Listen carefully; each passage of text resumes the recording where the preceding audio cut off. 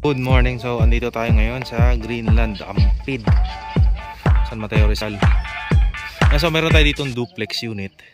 So, ito is sold na po siya. Uh, 8.2 po yan na sold. And then yung katabi naman mamaya uh, punta natin. So, papakita man natin yung ano, yung uh, area. Ayan.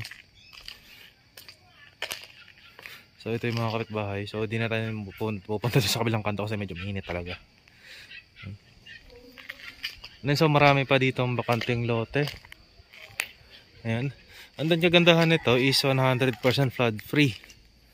So ito naman uh, malapit na siya sa C6. So 5 minutes away pag nag, nagbukas na yung C6 road na yan. Uh, ano na yan guys. 5 uh, minutes na lang nasa ano na tayo JP Rizal ang labas ang labas naman ng C6 road na yan is uh, Pure Gold San Mateo. Ayan. So bali itong corner guys is sold na to siya. Ito na lang ang still available. Ayan. So so mamaya pasukin natin siya.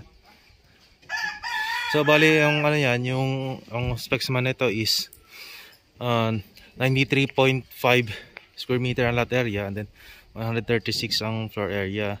3 bedrooms, 3 toilet and bath and then 2 car garage. So ang presyo naman is 7.5 so payment natin is 20% down payment and then 80% bank finance.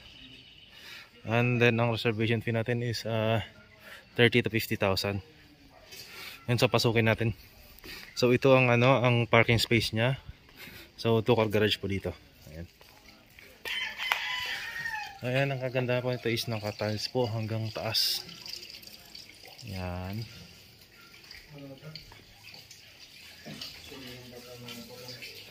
So, ang luwag ng parking space niya.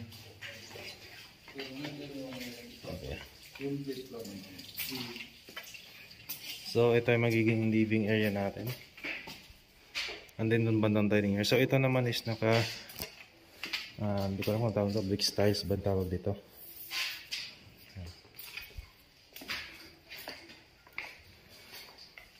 Dito lang kami. So, ito yung kitchen. Ito yung kitchen natin.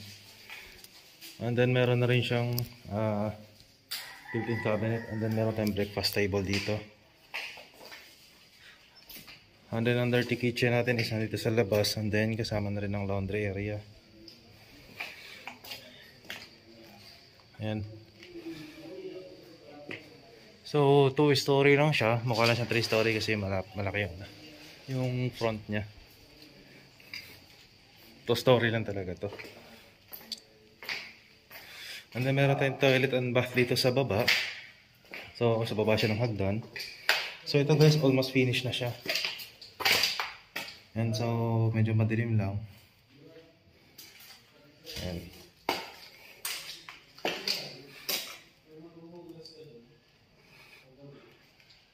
yan as usual wala pang gumagawa kasi break time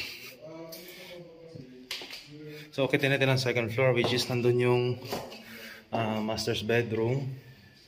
So, ito guys, uh, ang ganda nito is high ceiling.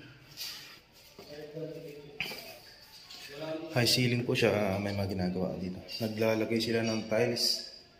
Okay, so hindi ko sure kung kaya ko bang hakbakan. Kasi hindi natin pwede pakan yan. So, mag-ala Spider-Man muna tayo. Apps. Yun.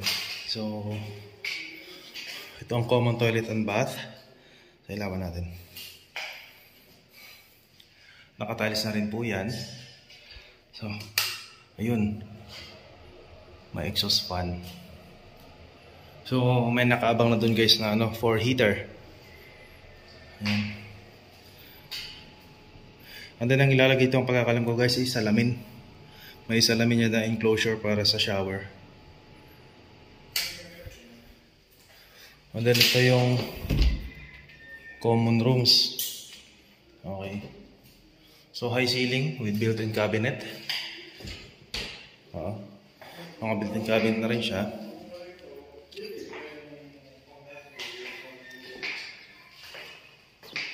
So meron tayong open space dito for Pwede din lagayan ng sapatos dyan. Ayan. So ito yung isang common room. So ang price nito ay 7.5 million pesos. So ito guys is napakalapit niya sa ano sa corner unit. Built-in cabinet na rin. And then punta natin ang master's bedroom. Wow, ito ang master's bedroom. And then meron siyang walk-in closet sa bandang right side pagpasok ng pinto.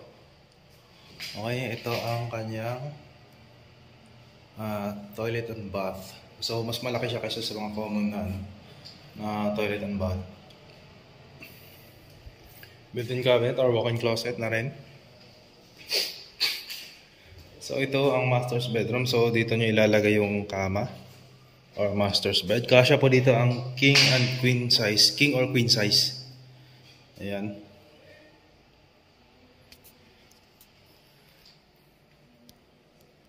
And then naka tinted na yung ano, yung salamin. So. Excuse. And then meron siyang mini balcony. Ayan.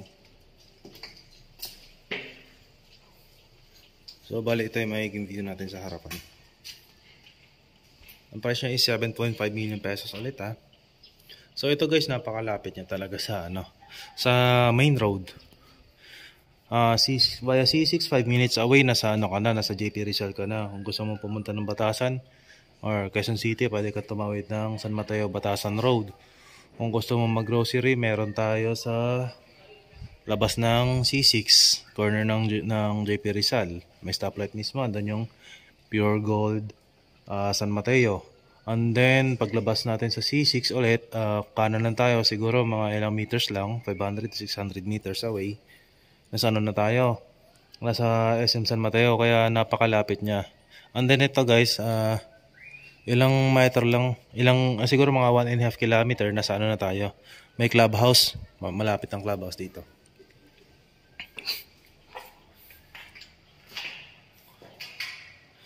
Ayan.